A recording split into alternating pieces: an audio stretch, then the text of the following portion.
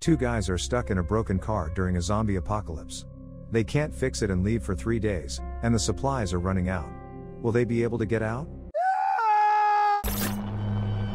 The story takes us to the world during a zombie apocalypse. Two baseball friends, Mickey and Ben, are among the few survivors. They are forced to wander through the forests and provinces of New England in search of provisions, periodically defending themselves from bloodthirsty zombies. In reality, the post apocalyptic world turns out to be very boring, and most of the time the guys have nothing to do. Ben adapted to the new reality faster than his friend. He learned how to kill zombies and get food with improvised means. Mickey, on the contrary, is afraid to take up arms and prefers to disconnect from reality with the help of music in his headphones. During another sortie, the guys find an abandoned car. A zombie woman climbs out of the driver's seat, but Ben reacts instantly and shoots her in the head. The guys are lucky, the car immediately started up and now they will be able to continue their forced journey on wheels. Mickey offers to stop by his ex girlfriend's house to look for provisions there. As Ben searches the house for zombies, Mickey gets nostalgic in his former lover's room. He takes a new disc from her dresser for his player, after which he smells her clothes and perfume.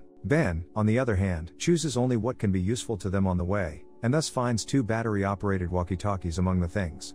The guys take blankets and pillows from the girl's room to spend the night in the car. Mickey is tired of hanging around abandoned houses and spending the night on the street, so he invites Ben to stay in the house at least for a while. Ben believes that staying in one place is not safe and they must constantly be on the move in order to survive. He reminds his friend that when things first started, they locked themselves in Mickey's house for three months along with his entire family. Staying in a confined space turned out to be a real hell. The company quickly ran out of food, and Ben had to kill the dog so that the family would not starve to death. In the end, the zombies still broke into the house and only the two friends managed to survive in the carnage. Mickey has to agree with his friend and they continue on their way without a final stop. One day, Mickey finds walkie talkies and inserts batteries into them. He and Ben decide to check the range of the radio and suddenly pick up someone else's signal. The guys listen to the conversations of other surviving guys, where they discuss the shopping list for people from the camp. For the first time in a long time, Mickey hears other people's voices. From their dialogue, he understands that somewhere not far from them there are people who continue to live as before. They celebrate birthdays, watch movies, and always have something to eat and sleep. Mickey decides to intervene in order to ask to join them in the camp. A male voice from the radio rudely answers him so that he does not clog the airwaves and says that there is no place for them in the camp. The voice also asks the other person, named Annie, to stop any contact with the guys. In desperation, Mickey tries to negotiate with the strangers, but they cut off the connection. Ben calmly accepts what happened and offers to forget about this conversation, but his friend cannot accept the refusal and continues to try to contact Annie. Ben is ironic about Mickey's actions. He tells his friend that he is too romantic about the stranger and hopes in vain that she will turn out to be a sultry beauty from the films who will save him from the zombie invasion. Ben, on the other hand, is more realistic and advises Mickey to follow his example in order to survive. Friends arrive at an abandoned motel. Mickey goes to check the building and quickly regrets it. Dash zombies were locked in one of the rooms. Ben has to take the hit again and protect them from the dead. He tries to persuade his friend to join him and learn how to kill zombies, but he does not see the need. Soon Mickey gets a chance to face the zombies one on one. Ben goes for a swim while Mickey is fast asleep in the car. Because of this, he does not hear how the girl's corpse is approaching the car. The zombie comes very close and makes awkward attempts to get inside, from which the guy finally wakes up. Mickey is very scared and does not know what to do next and how to defend himself. He finds himself alone with a zombie for the first time, so he desperately tries to shout for Ben to save him. After watching the actions of the corpse for some time, the guy realizes that she does not understand how to get inside and can rub against the car forever. Then the guy realizes that even though what's in front of him now is a zombie, she used to be a pretty girl. Since Mickey has spent many months without intimacy, he decides to take advantage of the situation and satisfy his needs by looking at the girl. The climax of their romantic moment is interrupted by Ben, who returns to the car and shoots the zombie in the head. Every day, the tension between friends increases. They set off again and search the abandoned houses. At some point, Mickey loses his temper and tells his friend that they will stay overnight at the house. Ben makes concessions, but in return takes the player from Mickey. He explains this by saying that Mickey runs out of all the batteries and puts their lives in danger, because he might not hear the approach of the zombies because of the loud music. Ben tries to explain to his friend that they should work as a team and help each other survive. After his friend's words, Mickey freaks out again and leaves. In the room, Mickey tries to contact Annie again. The girl finally answers him and tells the guy that she can be exiled because of a conversation with him. She warns the guy that the camp of survivors is not at all what Mickey imagines it to be, and asks him to give up the idea of joining them. The guy is ready to leave Ben alone to join them, but Annie again sends him away in a rude manner. Meanwhile, Ben finally allows himself to relax a bit. He turns on the player at full volume, drinks and dances with a gun. In the middle of the night, he hears suspicious sounds outside the house and takes zombies hostage. Ben decides to give his friend an extreme survival lesson.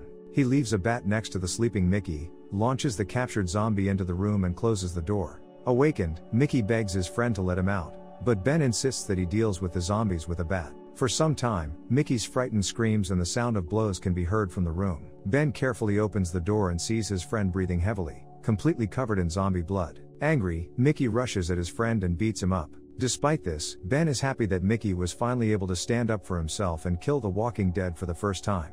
Mickey tells his friend about his conversation with Annie and that she asked him to forget about the camp. Having lost hope for a normal existence, the guy begins to cry. Ben calms him down and they go on their journey again, enjoying the beautiful nature and finding entertainment around them.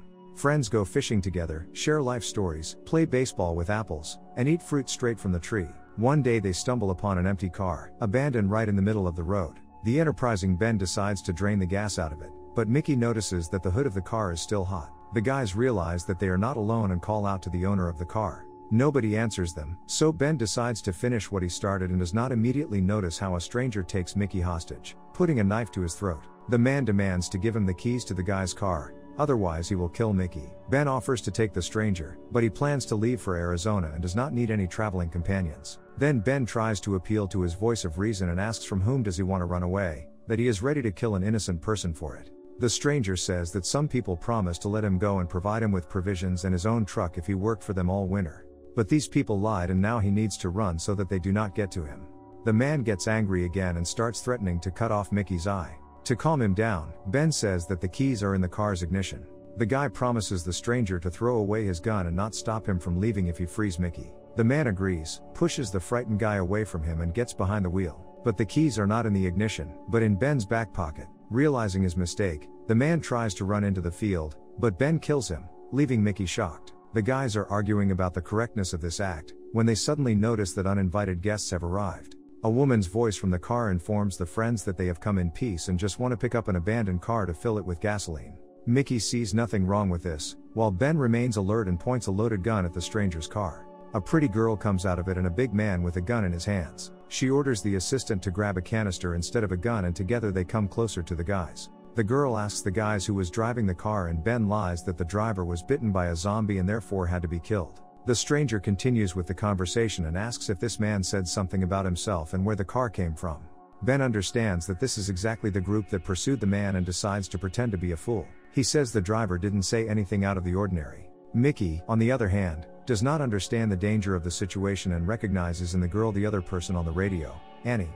Realizing they've been found out, Annie shoots Ben in the leg and points the gun at Mickey. She threatens to kill the guys if they follow them to the camp. Annie takes the keys from them and tosses them into a field so they can leave while the guys look for them. Mickey unsuccessfully tries to find the keys among the thickets of grass. It begins to get dark and Ben offers to wait out this night in the car and resume the search in the morning. In the middle of the night, Mickey hears a suspicious noise. They turn on the headlights and see that a crowd of starving zombies is moving towards them. Because of the injury, Ben cannot go far, so the friends become hostages of the car. By morning, the car was surrounded on all sides by the dead. They can't get inside, so they just moan and rock the car from side to side.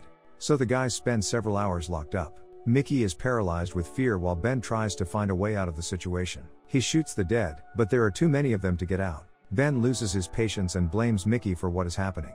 If he had left Annie alone, they would not have been trapped. A few more hours pass. Friends understand that their supplies of water and food will not last long. Now the guys can only guess who will surrender first, them or the zombies. The next day, friends cover all the windows with blankets, hoping that the dead will leave if they do not see them.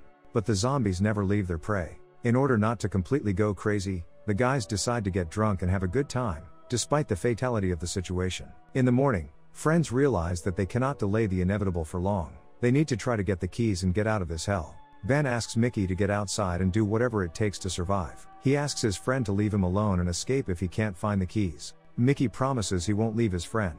Having smoked his last cigarette, he climbs out through the hatch to freedom. For Ben, the most agonizing time of his life begins. He spends long minutes that seem endless to him waiting for his friend. The guy is almost losing hope, when suddenly he hears a knock from above. Filled with joyful excitement, he opens the hatch and lets Mickey inside.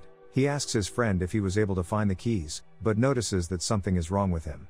Mickey shows his bloodied hand and Ben realizes he's been bitten by a zombie. At this moment, the last hope dies inside Ben. Mickey in tears asks his friend what to do, but he has already made the only right decision. Ben shoots Mickey right in the head, then screams in pain, tearing him apart from the inside. Ben spends the next few days in prostration, trying to recover from the death of his only friend.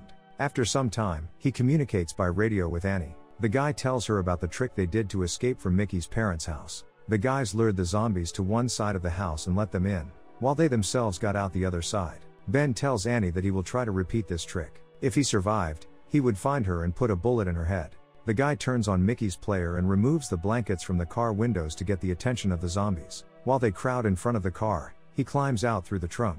At the end of the story, we see Ben limping down the road. He was left alone without provisions and weapons, and a crowd of hungry zombies follows him on his heels. But now the guy has a conscious goal that moves him forward. He is going to avenge the death of his best friend.